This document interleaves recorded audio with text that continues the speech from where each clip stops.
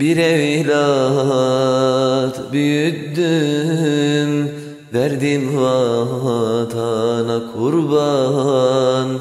Oğlum şehittir Adı Sunay Civan.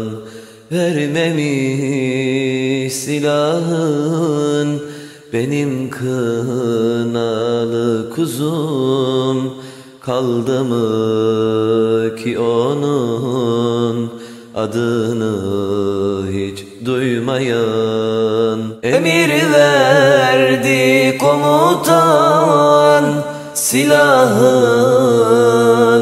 alın.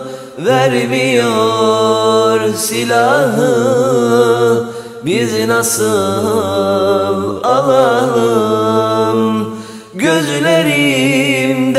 döküldü.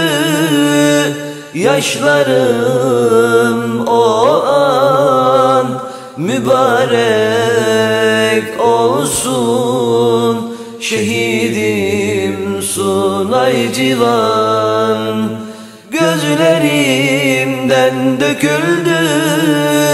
Yaşlarım o an Mübarek olsun şehidim Sunay Civan. Emir verdi komutan silahını alın. Vermiyor silahı biz nasıl alalım? Gözlerimden döküldü yaşlarım o an Mübarek olsun şehidim 1996 yılında şehit oldu benim oğlum. 26 askeriyle sabaha kadar çatışmış. O hainler de görmüş oğlumun silahının elinde olduğunu. O soysuzlar da almaya çalışmış, alamamışlar. Oğlum şehit olduğu halde ondan korkup hepsi kaçmışlar. Silahını vermeyen şehit denilince akıllara geliyor benim sunayım. Kınalı kuzum, o benim gururum, şanım, şerefim, onurum. O benim gururum, şanım, şerefim, onurum. Askere gönderirken sessizce gitti.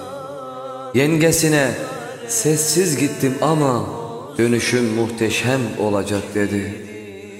Dediğin gibi oldu oğlum. On binlerce insan seni bekledi. Buraya gelmeni. Herkes istedi o gün taputuna el sürmeyi. Herkes istedi o gün taputuna el sürmeyi. Taputuna el sürmeyi.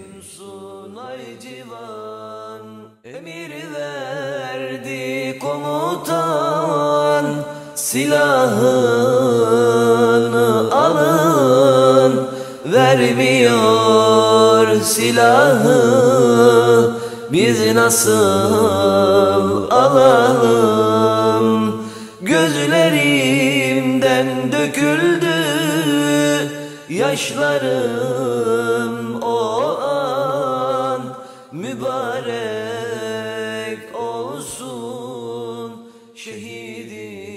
şehidim Sunay Civan